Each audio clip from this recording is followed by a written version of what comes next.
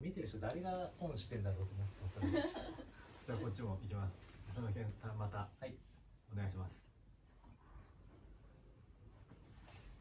はい。じゃあ休憩終わりまして、はい。昼の部第ん？昼の部の第2部？はい。ということでやっていきたいと思いますが、えっと、メンバー相変わらずこの6人でよろしくお願いしますもともとね、これね、こう分けてね、はい。あのーやろうと思ったんですけど、まあ一緒にやってみて、どうどうだった？楽しい。前回、楽しい。ね、うん。まあ2ね、本当三三でやる予定だったんですけど、まあちょっと2-2になって、ちょうどいいかもしれないね。まあさっきもね終わってから話したんでいやダブル拓也君の回しがもうシスタドも初めてんの。神へのね。神もう染みついてますから、はい。DNA に。すごいね。なんか最近それを感じることなかったんですけど、なんか今日その あの紙 DNA じゃなくてあのこのなんか通過な感じちなみにその神は、えっと、その某 HIS 時代ののそう。佐野さんのの印象。ねはい。二人後輩から見た先輩佐野さんのはい。印象がはい。神そうそう。なんで次回が神アキラの神 T やばいね プレミアつくやつ。それこそ電車乗れないそうだよね。そうだよね。3万でも安いぐらいじゃない？安いぐらいかもしれないですね。安いくらい。某 HS の後輩は全員買いますね。やばいね。お店なので何する？未知で毎月1商品やってさ やってたらギリギリ生活できる。ね。すごいね。3万円でさいや買ってくる人10人いればささそれで生活してるから。神がそれで生活してしくないいやもうこちらからしたら下界に降りていやいや。秋の評価下がるよね。やばいと。もう神のラジオでいいですよそれは。見てもらってねいややばいやつやね。いや今日そうそう実はこの佐野明のラジオ T シャツっていうのをあの明君が作ってくれたのを着てないですけど、まあ、これ着て電車乗ってきたわけですが、はい。ちょっとね、まあ、これだって乗れるんですけど、うん。ちょっと神やとね ちょっとやっぱ注目がうん席空きそうだよねちょっとね、うん。そうですね。空いてんなみたいな感じになるかなと思うんですが。でもいたよ。おあ神今英英語教室通ってるんですけど、はいはいはい。ヘザーっていう先生が。うんこの前プリントガーッって書いてあるの。あったんだよってすごい笑い話してて。ありえなくないみたいな話をしてあ外国人あるある。だねまあ確かに確かに。まあまあそんなね感じでまあまあ一部もいい感じではい。本当に打ち合わせゼロとは思えない感じで素晴らしい。たなと思ったんですが第2部はテーマは？ありのままに。ありのままにね。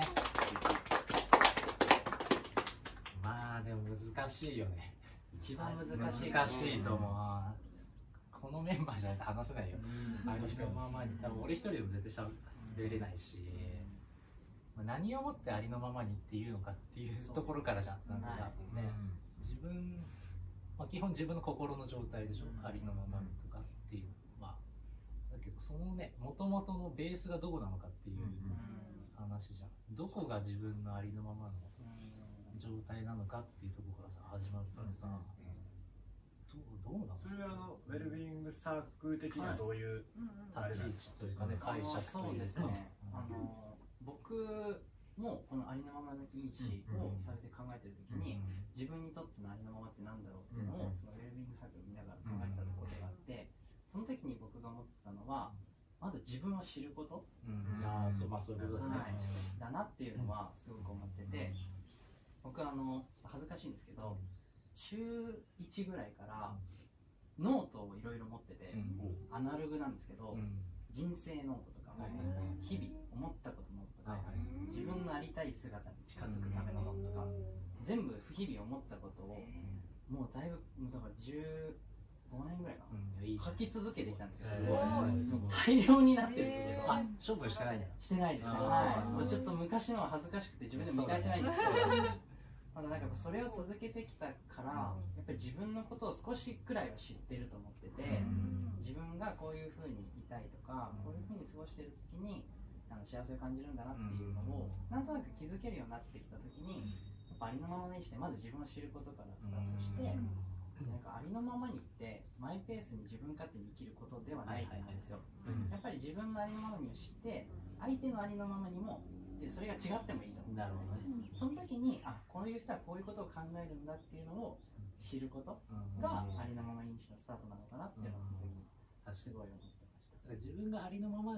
にいるにはありのままの世界じゃないとダメってことだね。周りの人も含めてさ、うん。やっぱ自分だけがそうあろうとしてもさ、うん。周りがさありのままの逆ってなんていうの、まあ、ありのままない状態。ありのありのまありのままない世界でさ、まあ、どうしてもいらないじゃん。自分もそっちに引っ張られちゃってさ。でもさ例えば、まあ、隣人がね隣の家族が友人が、まあ、こうして集まって仲間がさ、まあ、そういう状態で今志崎言ったようにわがままとかじゃなくて、いい意味でちゃんとこう自分のいい状態にいる人がいたらさじゃあ俺もそっちやってみようかなみたいな、そっちに行ってもいいんだっていうのがさ、分かってでまたそれがさこう派生していくわけじゃん、そうですね。だからなんかこう自分のこともそうだけど周りのこともなんかこう両輪というかさ、うん。なんかそんな感じだよね、うん。話を聞いてもそうですね難しいよありのままに。これもともとありのままには誰で呼んでたんだっけな？どっちでも知らんとえっと2部の方なんで。ピグちゃん。ピグさんそうそうそうそう。僕ですね。そう。うん。でもそこに、まあ、一応配置したのも、まあ、一応考えたの、うん。飲酒で、まあ、来てくれる人が決まってじゃあどうしようって言った時に、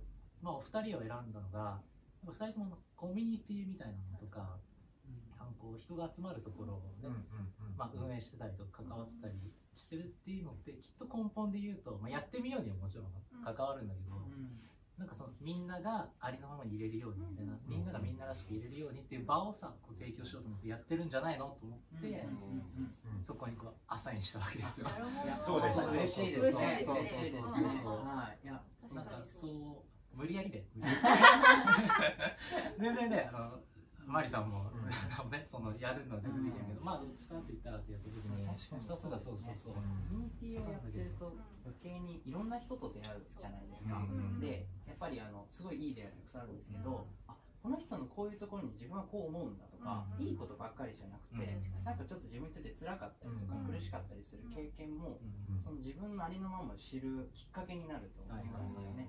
それでなんかいろんなことやそれやってみように関わるんですけど、いろんな人と会ったりいろんなことをやってみたりして、あ自分はこういう時にこう思うんだみたいなのを知るのもすごい僕はコミュニティやってて楽しいなと思うところですね。まあやっぱその自分を知るに帰結するわけね、そうですね。僕の中ではなんだかんだ言っても。ピグちゃんはどう？なんかこう幼稚園もあったりとかさ、ん。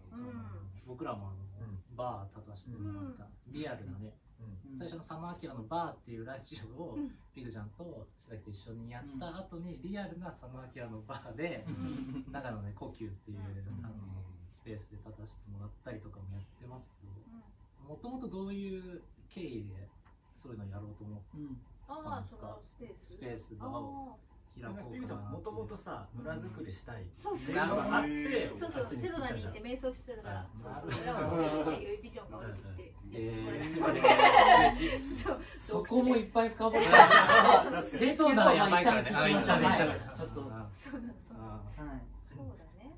きっかけか。まあ私は子ども食堂をなんかその年の去年かの1月に子ども食堂のドキュメンタリー番組を見ててまあなんかうちの実家に似てるみたいななんかやりたいなーって思ってとりあえずストーリーアップしてで仲間が急にもう集まってきて場所がないけど。でまあその仲いい保護者飲み仲間の家族に場所あった見てなんか見てみたけど広いかもとか言ってみたらそのお父さんが「ああ明日見たい」っつって次の日見に行って決めてきたって言ってもう場所先に決めて それはその人は大人のワクワクする場所を作りたかったんで大人の秘密基地みたいなで私は子供の居場所を作りたくてはいはい。で子供と大人って子供が楽しいことしようとすると大人が犠牲になるというか我慢してなんかうん。遊ぶ遊びに行くとかそうだし大人の付き合いに子供連れていくと子供我慢してちょっとなんかゲームして待ってるみたいなのがどっちもウィンウィンだったらいいよねみたいな。影響も受け合ってしかもこう家族とその友達ぐらいの付き合いしか今って子供たちあんましてないからしかも車社会だからなまあそう自分の足で行けてでいろんな大人と出会えてそのオーナーのお父さんはあの商店街に育ったんだね福岡の下町の。で今も実家がその電気屋さんでそういうなんかいろんな大人に影響を受けてて、でなんかそういういつもはなんかフラフラしてる変なじじいだと思ってた人がすごい社会ではなんか頑張ってたとか、うん。そういう一言言われたことがずっと残ってるとか、だからそういう場所を作りたいって言って、うん。じゃあ作ろうみたいな感じになったんですへよ。それその大人がおとなしくこう、うん。大人も楽しめて子供が楽しめるって、ーなんか最終的にこうどういう空間だったらそうなるなっていう話になったんですか、結局は、まあ、部屋がいっぱいあって、うん。子供の場所を開放して、うん。まあ、和室なんですけど、まあ、普通にそこで遊べるようにしてだからキッズルーム、キッズスペースみたいにはしたくなかった。んですよはいはい。そうそうう。んだからそこを今はおおやつとかなんかご飯の会は別で運営というか、そう一応補助金を取ってやっててで表側はカフェとかバーのスペースになってて、うんだから表でも過ごしてもいいんだよね、うん。だから、はいあのカウンターに子供だけ座ってる時もあるし、ん。そうそうで本当に大人と大人やねそう大人大人ね。でリンゴジュース飲ん。でみたいな足届いてないみたいなかわいいねそう結構ね、へまあ大人と子供が本気で喧嘩してたりね。全然違う親子でもないんだけど。本気でぶつかる機会あんまないですよね。そう。そううん。あと川がもう川沿いにあるから川遊びに子供行けるし、そうそう昔の風景がねなんかなんか懐かしいなみたいな風景があるかもしれない。今なんか和室っていうちょっと話が出たんですけど、まあ今日もここ今和室で、うん。実はラジオの公開収録のくせに和室でやってるんですけどなんか和室というかこう日本家屋ってコミュニケーションが生まれやすい形になってますよね。なんかこうそうそうなんか扉がね居心地いいそうしそうそうそう。心開きやすいとう思う、うんん。そこもすごい居心地いいんだよねやっぱり。扉があんまなかったりとか、まあ取り外しができたりとか、ね障子でちょっと向こうが見えたりとかうんっていうのとかっていうのもあるから、そういうのもあるかもしれないですね。自分がありのままにいられる空間ってのは多分ありますよね。それぞれ確かにその大人子供だけじゃなくて。やっぱ聞いてみたいな。そうだね聞いてみたいな聞いてみたい。まあありのままにって難しい。一番うん自分らしくいられるうん場所でもいいし、うんまあなんか食べてる時でもいいし、なんかね誰かといる時とか、どうどうマリさん？やっぱ自然じゃないですか。自然なこれ最初が究極の答えで。縁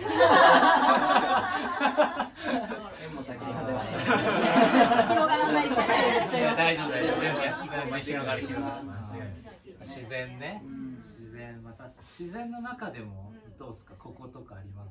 山ね川ああるけど。まあ全般でももちろん。なんとなくなんか緑の中にいる時かなって感じだけどでも海も好きなんですよね。まあ気分によったりもしますよね。うん。なんとなく海がいいなと思う時あると海だと逆にちょっと騒がしすぎるなってとこもあったりしますしいやいい答えもらっちゃったよじゃあこの次ちょっと菅原君どうですか難しい。ね自分の自分の。自分の自分の。自分のああ自分らしいなって感じる瞬間っていくつかあるんですけど、うん。まあ僕の中でちょっと視点を変えると一つは、うん。ちょっとさっきランチ中もお話ししたんですけど、うん。緊張するしてる時って、はいはいはい。自分らしさ全開になる予兆だと思う、でもそれいいメンタルしてるよね。確かに。あのそのち緊張してるってことは何か大事なイベントとかが控えてるってことなんで。その、えー怖いなとかワクワク感っていうのが、こう次に来る大きな自分の世界が広がる瞬間につながってるんで、あ生きてるな自分らしく今今を楽しめてるんだなっていうのをすごく感じるかなってはい。それなんで今日のラジオもすごい緊張してますめちゃくちゃでも緊張してるってね、経緯でもあるよね。あもちろんそうですこねねそうです怖いしてる。いや、してないから、じゃないよ。いやね、これ消せねえからな。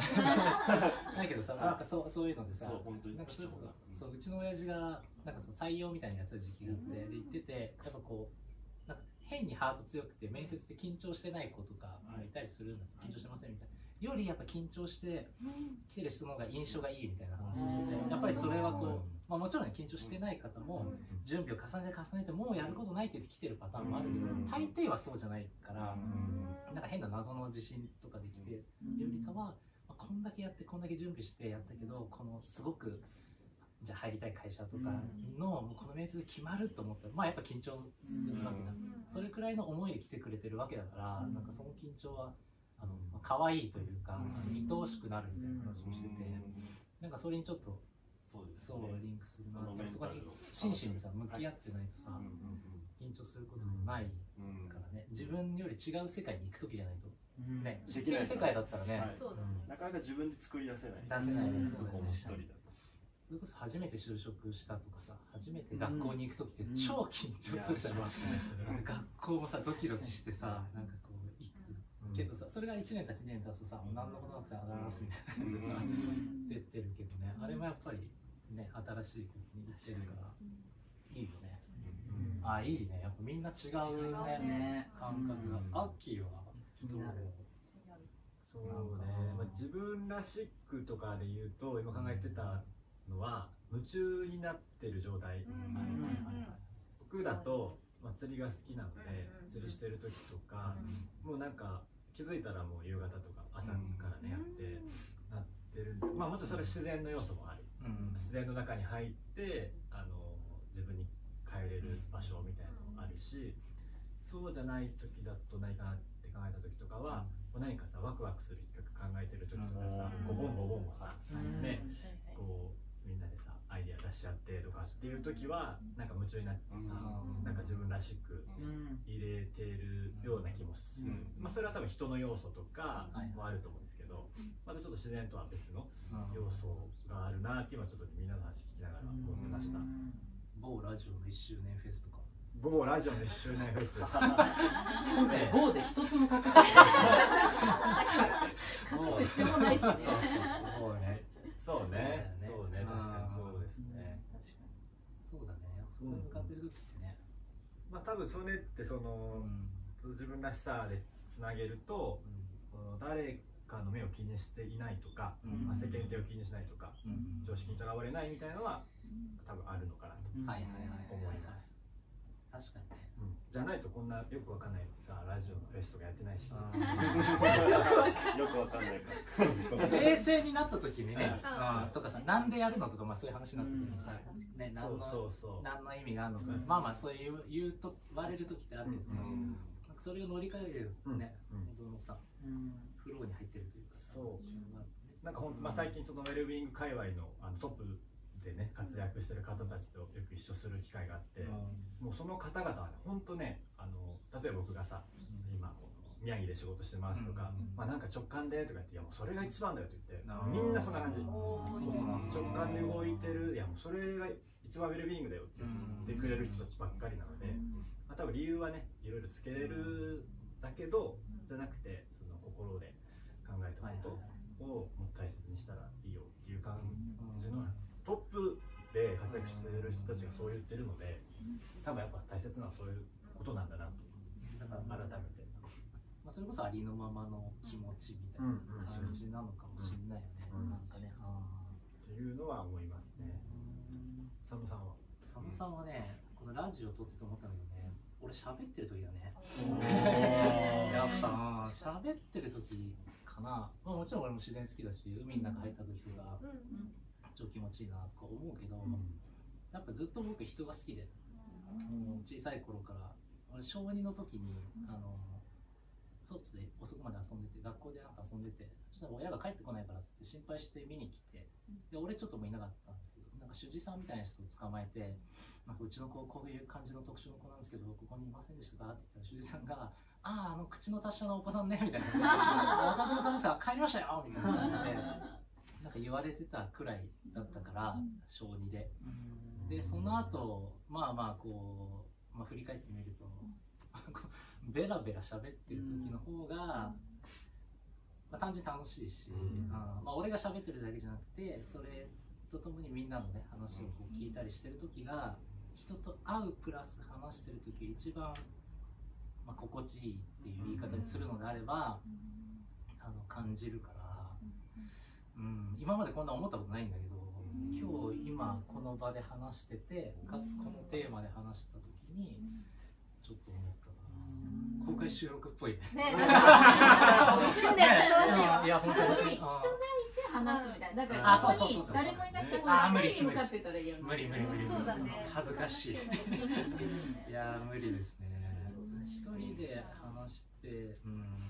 なんか場を作ってそこで話してるみたいなそうそうそう。だから変だし別にまあ俺も話したいけど、俺の話ゼロは嫌ですけど別に他の人たちがこう喋ってるのを見てるのも全然好きというか。だから今日ねあの初対面の方本当何人かこういらっしゃいますけどあの観覧のね。た 多数生きてる観覧の方々。も交流を。ね、してるのをこう見るとあなんかいいな。えそれこそウェルな、うん。ウェルビーイングタイムみたいな感じだなってすごい感じるかな。っていう感じです。素晴らしい橋崎だけ？あ僕がそうですね僕はまあ皆さんがあの言ってたことも確かにそうだなって思ってて、特に僕が思うのはやっぱりお芝居やってたから表現をしてる瞬間かな、あのお芝居をしてることもそうですし、僕あの一眼でカメラ撮りに行ったりとか、時間がある時絵描いたりするんですけど、めっちゃうまい。絵も写真マジですあのえっとまあ、でもボールペンでもう紙にただ書くだけなんですけど、あのそれこそ佐野さんの本ファーストピリオドといううん。狩野さんが世界一周旅行をした本があるんですけれどの ウェブ版の表紙はい、に表紙を書かせていただいたりとかはしてて、やっぱりその瞬間ってなんか何も多分飾っていないうん。飾ることのできないも自分が乗っかるうん。と思うし、まあ、でもちょっと恥ずかしかったり、うん。不安だったりするんですよね、はいそのありのままの自分が映ってる何かしてる、うん。はい、でもなんかそれをなんか大事にできるというか、うん。まあ、それでをなんか恥じない自分でいたいなっていうのは、うん。や表現してる瞬間っていうのは一番ありのままで入れてる気がしますね。わかる。すごい勇気がいるんだよね勇気がいります。なんかはい。ね本当の自分をこう出そうとすると、うん。すごく勇気がいり何まなんだろうってすごくうん思う。けど、飾ってないからこそいや本当に嘘もつけないし、ね。否定されたら本当の否定になってしそうなまうから。のでもそれを OK って言ってくれたらはい。はってなる。しかね、意外と人は優しい。そうね。俺もね性善説なんだよね。基本的には。基本的には。わかると思うで大変な人もいるし、うん。ね、辛辣な人もいるけどでもそういう人の元はそうなんじゃないそうかなって思ってるから、本当に。なんかこう生身はなんだろう服何も着ずに外出るくらいの感じでありのままにでいく、うん。普段はねあのうんコート着て、うん。そうです。ダウン着てさ、くらいで武装してるのをさ、うん。脱いでね、うん。こうバッと出ていくくらいの恥ずかしさがあるけどさ、でもその先の気持ちよさ半端ないよねそう。そうそうね。みんな結局すごくいい賛成してくれる人の方がよっぽど多い。うん。そうですねなんかちょっと大きい話をするとさ、はい。このまあありのままにみたいな話だったけど、まあ、ここ多分俺らが生まれたくらいの20年前30年前くらいまでのってさあんまりありのままじゃない世界というかさ、うん。方向みたいな感じでね、ちょっと進む。最初の産業革命とか始まった時はきっと、まあ、もっと便利にもっとあの暮らしやすくなってたんで、うん。途中からさちょっとこうおかしい感じになってったのの最後らへんだと思ってて、やっぱそうするとさありのままない？うん。まあまあ そうそれで決めよう。今日はもう。ありのままない。ままないさやっぱそういう世界観だったらさ、うん。だからそこにいる人たちもさなかなかそうありのままにいられないそう。やっぱ環境に左右されるから人って、うんもちろん強い心を持ってねありのままに暮らしてる方とかってヒッピーみたいな感じで言われた感じの人いたと思うんだけど、やっぱそれでうまくいかなくてさ、うん。でやっぱみんなそれに気づき始めて、やっぱりちょっと良くないよねって。もうちょっとこう人間本来とか、うん。まあ、地球と共生とかさよく言われたりとかする、それもそういうことじゃん。地球のありまのままに、うん。人のありのままにっていうのになんかこう戻っていってるような感じがすごいするからこうやってなんか個人個人のありのままには追求するというか、うん。話をして共有するのはもうでかい話。世界平和とか、え地球環境保全とかもちろんゴミ拾ったりとかもそうだけど、やっぱその一人一人がちゃんとそのいい状態に、まあ、ウェルビーイングってそういうこと、うん。俺ねウェルビーイングがちょっといまいちよく分かってない分かってないなんとなくでは分かってなん。となく葉で言おうとそこもありますで思ってるんだけどその状態でいるのがねいいんじゃないっていうのにやっぱ共感してるからこのアッキーがウェルビーイングいろいろねあの突き詰めたりしててこのラジオもウェルビーイングについて話そうよっって言った時に賛同したの結構そこで、あの僕もそのウェルビーイング活動でやってきてるわけじゃないんだけど、まあ、その人とのいい関係を保つとか、自分はいい関係を保つっていうのは僕の中でそうだと思ってて、そうそうそう樽をなんか知るっていうのはすごい実は重要なのかもしれないです重ね。要本当だからいい言葉作ってるよね本当に。なんかあの僕ヒップホップがすごい好きなんですけど、ヒップホップのバシっていうインシストっていうグループにいる、あの人がこれだけで十分なのにっていう歌を出してて、へーこれサビがすごいめちゃくちゃ良くて、本当に足りないものなんて実はそんなにないんじゃないいっていう。やなんか人のものを見てそれが欲しくなってしまうのはそれは人の目だからかなみたいな。僕はこれだけで十分なのにっていう歌詞があるんですよ。こういうことなのかもしれない。そういうこと？そういうことだよね。うん。でもこう外していく作業だからね。ああそう体にいる確かに。人のこう価値観そうだね。いつの間についちゃってるんですかね。でもそれこそやっぱりさうん。外をねそういう世界だと見られね今までそうか徐々に作られてくるわけですね。ちっちゃい頃から。でも私心理学の前のあー気づいたことがあってね。ぜひぜひ。あのほらだから多分須崎君だよね。須崎君とか困ったら拓也君とかはい。書い。てどっちがさそうあんなみたいな大丈夫です。空気 だから自分に従ってずっと生きてた人とかは直感もそれこそこう分かるんで自分らしさ。がでも結構他人軸とかで生きてきた人ってどれどれが自分の好きなことなのかって分かんなかったりするでもねあの体の反応はね絶対正直だからだからまあ私は涙が出てくるんだけどなんかまあ鳥肌立つとかあるじゃん。あれとかはね絶対それに従っとけばいいと思って背中痛くなる私は疲れたり無理する背中なります。無理しちゃった。はい。私もそれこそ三ん？ここに移住する前かな、うん、4年前ぐらいか、はいはいうん自分本当に、まあ、娘がやっぱりいよいよ、うんあの親元離れる時になった時には、じゃあ私も私らしく生きようって思ってすごい我慢してたことに気づいたんですよ。その時はやっぱりパートナーにも合わせちゃうし親にも合わせちゃう子供にも合わせちゃう。ででもなんか楽しくないなみたいな生きててなんかそんなになんか自分ってどんなだったかなみたいな。意外っすね。そう。今のそう。今のピッチャーから。そうなんですよ。そうそれで結構セドナ行ねなんかいろいろチャレンジしてみて、でインスタのアカウントもう一個作って、はいそこではもう自分が思ったこととかポンポンポンポンそうストーリーとか上げたり、そしたらもうそういう自分探しをしてる、まあ、特に同じような境遇のお母さんとかで同世代だったりとか、いろんな全国の友達ができたんですよ。ー1000人ぐらいフォロワー増えておそう。でそこでなんか一緒になんか旅行行く時一緒に行ったりこれを超えられないけどドキドキするけど仲間が見守ってるからそうだからセドナ行っててもハワイ行っててもずっとストーリーとかもアップしてるし、そうインスタライブとかも全然したことなかったけど、うん。職場でしてみたりとか、そうなんか寝たいから寝てみますとか言ってこれ 昼寝してみたりちょっとかありのままにがすごいでもなんかそれもすごい楽しくて私これ好きだわと思ったんで体現することが好きでうん。みんなにも気持ちがわかるしうん。応援し合える仲間がいてでもやっぱ人がねすごい大事っていうの。表現っていうのはちょっと共通点があるかもしれない。ねそうですね。だから自分が表現するっていうのは確かにね結局ね。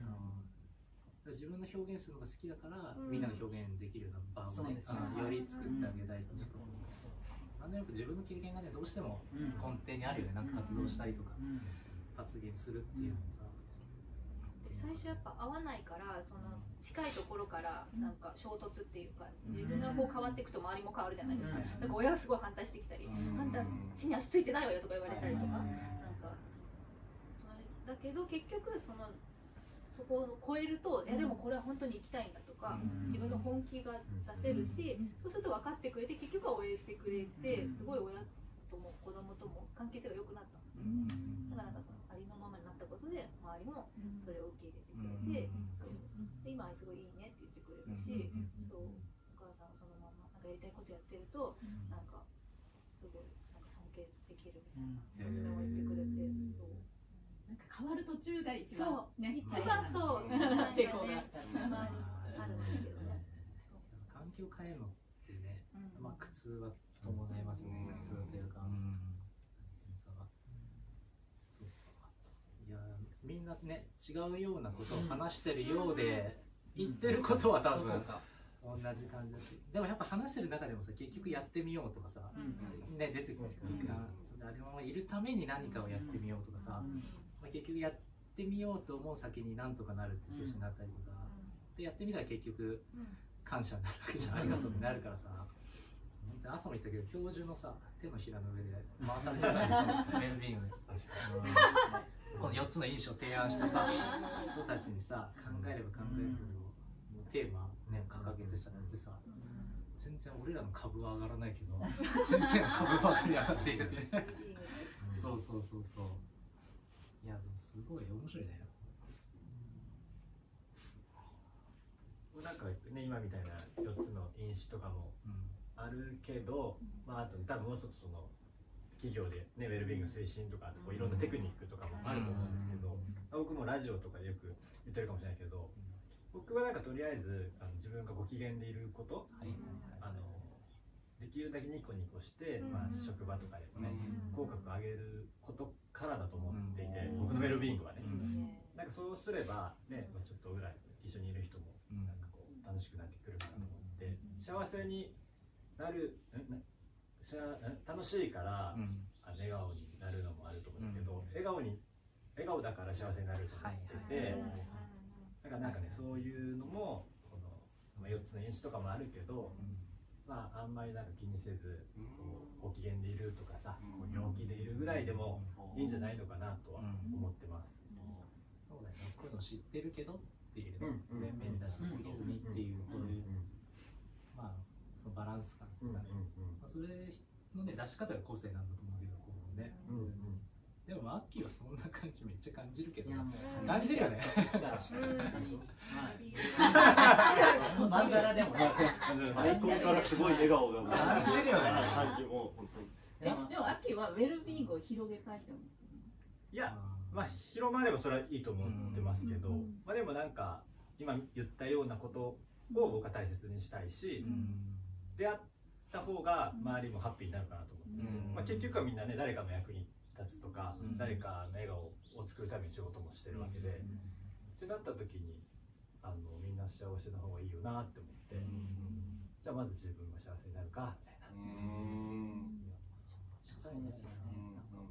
ウェルビーイングのこのフォークド診断でも、なんかこれを指標にした研究がされてて、幸せな人に会うと、うん。その一緒に会った人の幸せが、幸せ度が30何パーセントかな,、なんか30何パーセント。30何パーセント上がるらしいんですよ、うん。でその人のまた会った人も何十パーセントか上がる。って研究結果が出てうんすごい。ラッキーさんと出会った人は幸せ度が上がる。上がってますおー。やったぜ俺なんか週に1回朝毎朝だよ朝さあもう本当に。神と神のラジオ 神々ラジオだよマジでうさんくささすごいやばいね。それはやばいね。やばいね。上手に話せないいや本当にそうね。いやまあそれは感じるね。朝さだって朝さ7時からさ、まあ、週に1回くらいさまあ言うてもう若くない2人が顔合わせて喋るわけですよ。まあなんか ハッピー要素ないとさ続けない。ないよね。ハッピー担当。ああハッピー担当ないとさぱそれはこの続けてきた一一因かもしれないよね。その秋が続けてきたことのさでもそれがねちゃんとさ、ね、そういう企業の業績とかにつながってるってもうデータもあるじゃんね。うん。幸福度が高い企業の方が業績が上がるっていうのもねそうなんですね。国の生産性みたいな話もそこになるかもしれないね、うん。なんかね。なんかね、確かにいやいややってる仕事で生産性上がるはずがないよね、うん。うんうんうん思うけどもちろんやらなきゃいけないのあるけどさ、うん。今日の朝の部でもちょっと話あったんですけど、今あるまあねこの事実はうんうんうん一つで、まあ、解釈が無限みたいな話もしてたんですけど、まあたとえ大変な仕事も絶対まあ降ってはくるから、はい。まあ、それをどう楽しむか、うんうんね、このファクトは変わらないわけだから、うん自分の捉え方を変えれば、うん。まあちょっとは楽しくなるかもしれないし、みたいな話はしていて朝、したね。しました。はるか昔の。したね朝ね。確かにね。そうだね。まあ自分次第っていうところもね、ありますけど、でもなんかそういうの見つけるのがうまい気がするねここにいるみんな。その状況からいいとこを見つけていくっていうか人のいいとこもそうだと思うしことのいいとこもそうだと思うし。だからねそんないいことがあるんだったらなんかやってみようかなとかね、うんじゃあそそんな人がいるんだったらじゃあ僕もそっちに向かっていこうかなみたいなのがなんか根底にあるような気がして。でそれをやってる手段はみんな違うけど、うん心理学やったりと。かけどなんかそんなのすごい感じたこのうん。何45分足す35 35分みたいな感じだったね。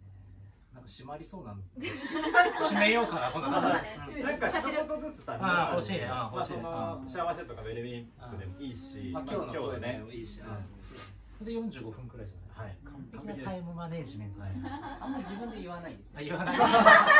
誰も言わないです 誰も褒めてくれないかそれら。は勝手に思ってますから。なるほど、なるほど。はい。ちょっとそんな感じで。ちょっと菅原君と。りがとうございます。本日貴重な場をありがとうございます。はい本当にもうあっという間の時間ですごい楽しくて、まあ、自分の話もできましたし、うん皆さんとなんか似た部分もあれば、あそういう見方があるんだっていうめちゃめちゃ勉強だった。うんあったんで、まずは明日ずっと現会社で笑顔を振りまいて。でもさ、急にやると怖いって感 違います。急はさ、じ。急徐々に。自分も辛いし、周りも。今日どうしたそう、の？ウェルビーイング。あのチームの口角上げるっていうのもすごい大事です。なるほどね自分の会社の口角、まあまずはね自分の。少しずつ違和感ないぐらい。まだそれ見たらさ、周りの人絶対すごい、今日何なのみたいな。大ハッピーになるからさ。それもそうです絶対それもプラスに捉えて上がるあの解釈いいね。てあいいね。本日今日。本当にありがとう。ありがとうございました。いくちゃんどうですか？楽しくてあっという間でしいたやいやいや、ありがとうございます。私も明日朝から何しようかな一回目なんだっ一回目トイレ掃除ああトイレ掃除あそうだねはい最近そう旦那が最初それやってたんですけどあ最近やってくれてないっぽいんであ私もじゃあトイレから始めさせていただきます。でも共有するの大事よね。そうだね。そうですね。私もあげますね。あね、確かにストーリーのね。はい。っていうの応援します。いいよね。それいいな、なるか。あぜひ。ねそう、いくちゃんの1ヶ月後。そうだねリレーしてきて先回りしちゃダメだね。回ってこないとね。待ってたらさ、楽や。いやーはい今日はそうですねあのまたぜひはい。やってください。ぜひぜはい。ひ。楽しかった長野も遊びに。あそうですねうんそれを機にありがとうございました。皆。さんありがとうございまありがとうございましたはいえっとよくテレビ番組とかであっという間の時間でとか言ってるけど嘘くさいやつね。嘘くさいやつね。最初30分とか話せんのと思ったんだけどうん全然という間でびっくりしましてあとやっぱ皆さんねありのままに生きてる人だから面白いなと思って、うん、話聞いてました、もうこんな機会をありがとうございますその明さん今日お酒とか一滴も入ってないから。確かに。何にもないのに、すごいね。すごいす。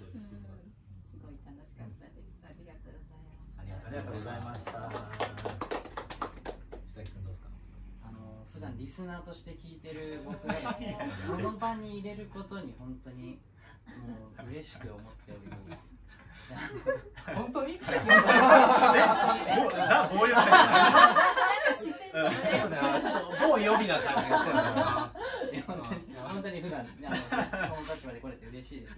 でありがとうございます。なんか今日はなんか本当そのウェルビングって一つのテーマで、皆さん全然考え方も生き方も違うから、かその違いを楽しめた日だなってすごい思いますね。なんかあのなんでそういう意味でもすごく楽しい時間でした。なんか多様性を感じた感じがね、うんそれこそもウェルビーみたいな感じを。いろんな人のいろんな違いを知るってすごい、うんあの豊かなことだなっていうのを感じた一日でした。関して。はい、あの2周年目も楽しみにしてます。ねはいはいお願いします。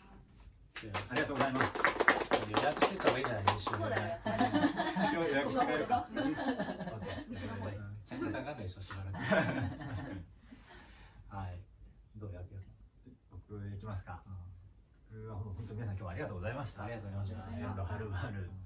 僕はね、まああの言い出しっぺなんで、あのねこのラジオもそうだし、このフェスもそうなので、あの僕は純粋に楽しいんですけど、うんまあでもなんかでも SNS かなんかでも書いたんですけど、まあ、まずは自分があのとことん楽しむというのを今回は、まあコンセプトじゃないけどみたいなのは思っていたので、まあ、まさにそれをやりながらこう、うん。みんなともねまさしくみんなで作るうん。ウェルビーイングなので、うん。なんかそれができたんじゃないかなと思って、うん。とても嬉しい楽しい時間を過ごさせていただきました。本当にありがとうございましたさんの件もあのずっと完璧な回しをしていやいやいやいや。僕はもう横で聞いてるだけで よかったんで。ありのまま状態。ありのまはい。じゃあ振り巻き係です。30分上げてそうですね。そうそうそう。いやいやいや。なんでねまあまた通常のラジオはまた始まりますんで。週1回。はい。これはい。それもまた聞いてもらえたらなと思います。